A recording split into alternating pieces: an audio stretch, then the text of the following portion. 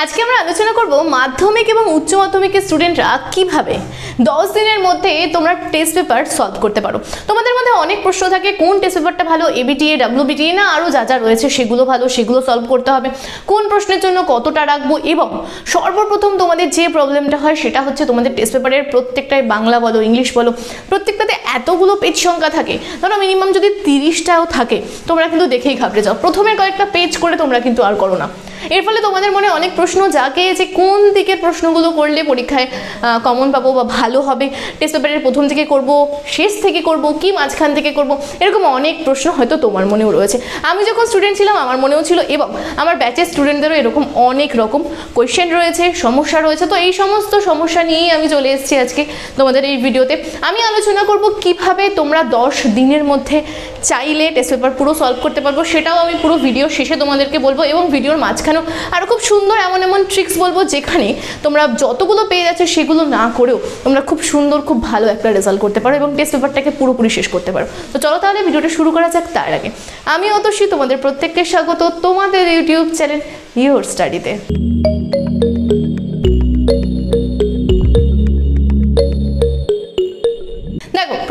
আলোচনা করি, তোমাদের যে প্রথম যে প্রশ্নটা থাকে যে কোন টেস্ট পেপারটা কিনবো?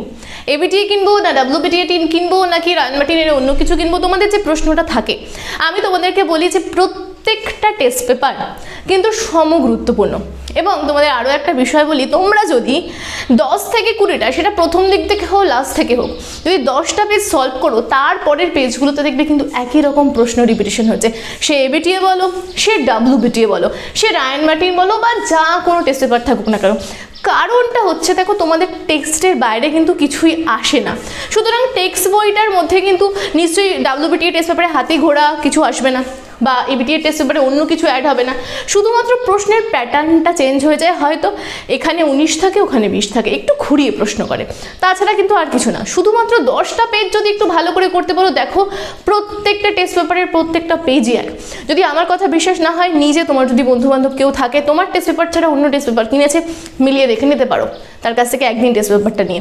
সুতরাং আমি তোমাদেরকে বলব এবিটিএ কেনো ডাব্লিউবিটিএ কেনো, বা আদার্স অন্য কিছু কেনো, সমস্ত টেস্ট পেপারই কিন্তু এক। ঘুরিয়ে ফিরিয়ে দেখতে গেলে সব কটার প্রশ্নপত্র কিন্তু একই থাকে। এবারে আমরা চলে এসেছি যে টেস্ট পেপারের কোন পেজগুলো করব? টেস্ট পেপারের কিন্তু যদি আমরা বাংলা আর ইংলিশ খুলি, সেখানে কিন্তু হিউজ পরিমাণে পেজ থাকে। আমি উচ্চ মাধ্যমিকের ক্ষেত্রে বলব, বাংলা ইংলিশের কিন্তু সব থেকে কোয়েশ্চেন পেপার বা সব থেকে স্কুলের প্রশ্নপত্র বেশি থাকে।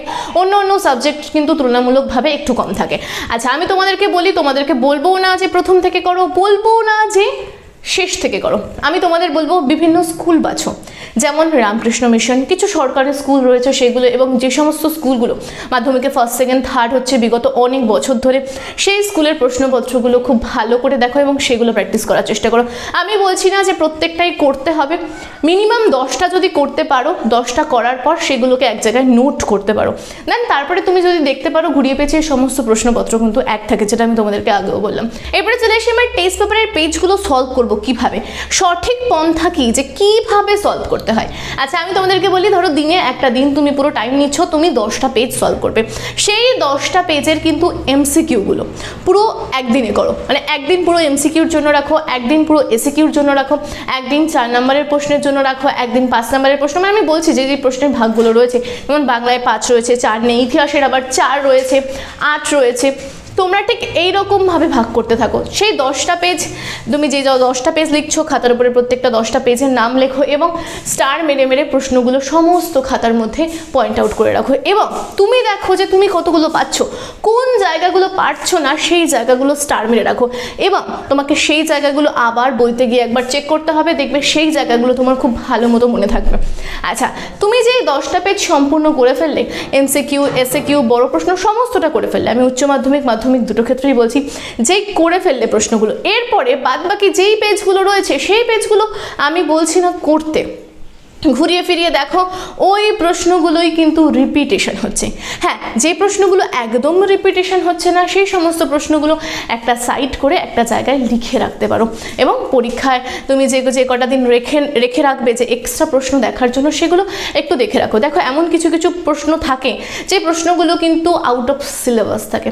তোমাকে কিন্তু পাজল করার চেষ্টা করা হয়। তো আমি তোমাদেরকে বলব যে একটা প্রশ্নের জন্য বাদবাকি প্রশ্নগুলো যাতে হ্যাম্পার না হয়, সেই প্রশ্নগুলো যাতে মাথায় মাথায় থাকে, তার চেষ্টা করো। এরকম যাতে না হয় যে একটা দিনই তোমার পুরো ওই প্রশ্নগুলো খুঁজতেই চলে গেল বা যে প্রশ্নগুলো হয়তো আসবে না বা আউট অফ সিলেবাস তুমি তার পেছনেই বেশি টাইম দিচ্ছ আর যেই প্রশ্নগুলো তুমি অনেক পারছ বা অনেক আছে বা অনেক বারবার আসবে, সেই প্রশ্নগুলো তুমি অ্যাভয়েড করে চলে যাচ্ছ। এটা কিন্তু কখনোই করো না, তাহলে কিন্তু তোমার দিনটা পুরো নষ্ট হবে।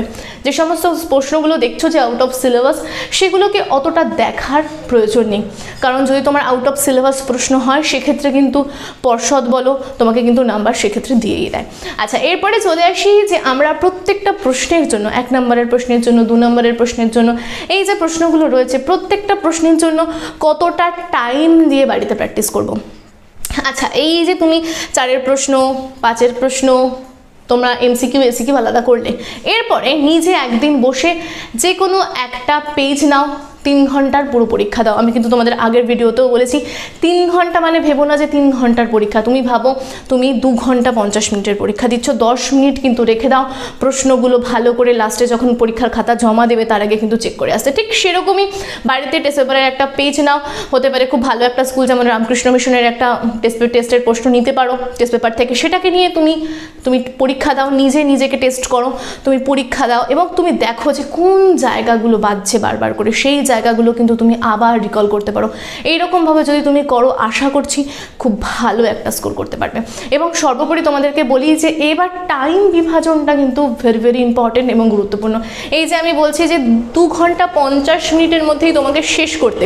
সেক্ষেত্রে তুমি কি করতে পারো, যদি তোমার পনেরোটা এমসিকিউ থাকে, প্রত্যেকটা প্রশ্নের জন্য এক মিনিট করে রাখো।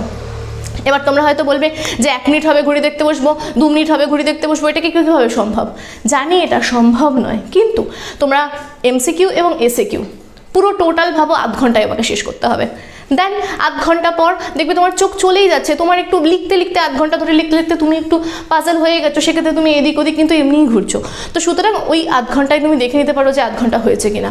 সেই আধ ঘণ্টার মধ্যে চেষ্টা করে এইভাবে ভাগ করে নাও টাইম কিন্তু প্রত্যেকটা প্রশ্নের জন্য যাতে এক মিনিটই ধার্য করা থাকে, সেইভাবে করতে পারো। এবং যদি চার নম্বরের প্রশ্ন থাকে, তো চার মিনিট ধার্য করো। তিন নম্বরের প্রশ্ন থাকলে তিন মিনিট ধার্য করো। আর বড় প্রশ্ন যদি আট নম্বরের থেকে থাকে, তো আট মিনিটে বড় প্রশ্ন লেখার চেষ্টা করো। তুমি যদি এইভাবে টাইম বিভাজনটাকে করে নিয়ে টেস্ট পেপারগুলো সলভ করতে পারো। আশা করছি খুব ভালো স্কোর করবে পরীক্ষায়। এবার চলে এসে আরেকটা পার্টে যেখানে আমি তোমাদেরকে প্রথমেই বলেছি যে দশ দিনে তোমরা কীভাবে টেস্ট পেপার সলভ করবে। দেখো, এখন সাধারণত তিন ধরনের স্টুডেন্টরা তোমরা রয়েছো। যারা একদম কিছু পড়োনি মানে কিছু পড়নি বলতে ওই ছোঁয়াছুঁই ছোঁয়াছুঁই হাব ভাব মানে জানো কোথায় কি রয়েছে, কিন্তু কোনো কিছুই সেভাবে হয়নি। আর আর এক স্টুডেন্টও যারা রয়েছে, যারা মাঝখানে রয়েছে, তাদের কিন্তু সমস্ত কিছুই পড়া এবং তারা কিছু কিছু রিভিশন দিচ্ছ, কিছু কিছু ভুলে যাচ্ছ। আর এমন কিছু স্টুডেন্ট রয়েছে যাদের সমস্ত কিছুই করা রয়েছে, তারা রিভিশন দিচ্ছ এবং সব কিছুই খুব কনফিডেন্সের সাথে তোমরা রয়েছো। আমি তোমাদেরকে বলব, যারা খুব কনফিডেন্স রয়েছে, যাদের সমস্ত কিছুই মোটামুটি রিভিশন দেওয়া হয়ে গেছে, তোমরা কিন্তু সেভেন ডেজ চ্যালেঞ্জ নিতে পারো। তোমরা কিন্তু ফিফটিন ডেজ চ্যালেঞ্জ নিতে পারো।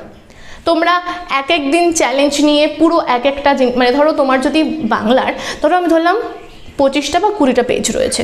তোমরা একদিন পুরো টার্গেট নাও, পুরো এমসিকিউ এসিকিউ শেষ করে ফেলো। দেন পরের দিন আবার টাইম নাও যে বড় প্রশ্নগুলো সেগুলো শেষ শেষ করো। মানে আমি বলতে চাইছি, যদি এমসিকিউ এসিকিউ শেষ করো, বাংলার পুরো শেষ করলে, ইংলিশের পুরো শেষ করলে, এইভাবে যদি তুমি শেষ করতে পারো সেভেন ডেজ চ্যালেঞ্জ নিতে পারো, পনেরো দিনের চ্যালেঞ্জ নিতে পারো, তাহলে কিন্তু খুব সুন্দরভাবে তোমার কিন্তু টেস্ট পেপার শেষ হয়ে যাবে। আর যারা মিডিওকর স্টুডেন্ট রয়েছো মানে যারা মাঝের পজিশনে রয়েছো, তাদেরকে বলব টেস্ট পেপারে যেগুলো আমি তোমাদেরকে বললাম এমসিকিউগুলো একটা চার্ট করো এসএকিউগুলো একটা চার্ট করো, চারের পাঁচের এগুলো এক একটা করে সেট করো সেট তৈরি করে দেখো এবং সেইভাবে টেস্ট পেপার অনুযায়ী সেইভাবে পড়াশোনা করো। কোথায় বাদছে সেই জায়গাগুলো আরেকবার করে রিকল করো। আর যারা একদমই কিছু পড়োনি, সেইভাবে তাদেরকে বলব, আমাদের চ্যানেলে প্রচুর সাজেশনের ভিডিও রয়েছে। তোমরা আমাদের চ্যানেলের প্লেলিস্ট থেকে বা আমি ডেসক্রিপশনেও প্রচুর লিঙ্ক দিয়ে দেবো, তোমরা সেখান থেকেও গিয়ে চেক করে নিতে পারো। তো আজকের ভিডিওটা কেমন লাগল অবশ্যই কমেন্ট বক্সে জানাতে ভুলবে না। আরও তোমরা কী কী ধরনের ভিডিও চাও সেটাও জানাতে ভুলো না। এবং যারা যারা সাবস্ক্রাইব করনি এখনও অবধি, দেখো নিচে একটা রেড কালারের বাটন রয়েছে, সেটাকে প্রেস করে সাবস্ক্রাইব করে নাও। এবং তোমার বন্ধুবান্ধব যারা রয়েছে, যারা টেস্ট পেপার কীভাবে সলভ করবে বুঝে উঠতে পারছে না বা পুরো শেষ করতে পারে না, তাদের মধ্যে ভিডিওটা প্রচুর পরিমাণে শেয়ার করে দাও। তো আজকের ভিডিও এ পর্যন্তই, পরের দিন দেখা হবে অন্য কোনো একটা গুরুত্বপূর্ণ ভিডিও নিয়ে।